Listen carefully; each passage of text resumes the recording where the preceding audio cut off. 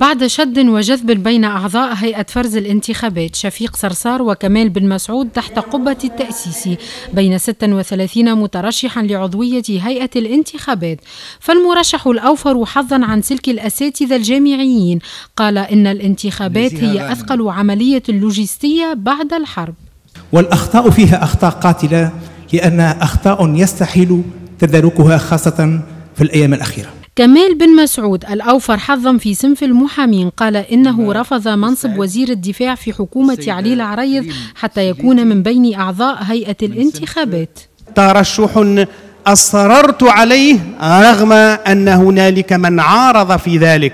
أصررت أيضا حين اعتذرت يوم 6 مارس لما شرفني السيد رئيس الحكومة علي العريض بأن عرض علي حقيبة وزارة الدفاع. اعتذرت.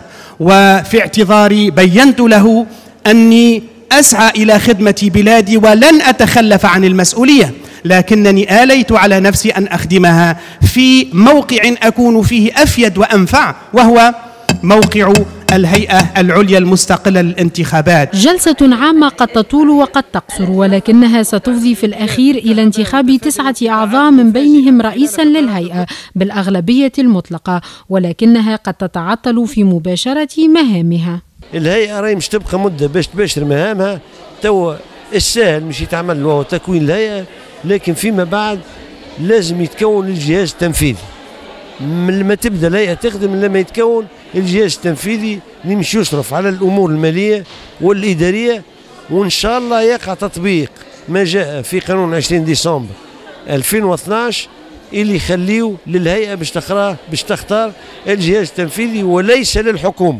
إذا كان الحكومة مش تختار الجهاز التنفيذي ما عادش يضر مش تكون الهيئه مستقل مفاجأة قد تحدثها المحكمة الإدارية بإسقاط أعمال لجنة الفرز والجلسة العامة بعد تقديم جمعية عتيد عريضة للمحكمة الإدارية لإيقاف أعمال لجنة الفرز والقائمة الصادرة عنها بسبب عدم نزاهة عمل هذه اللجنة على حد تعبيرها.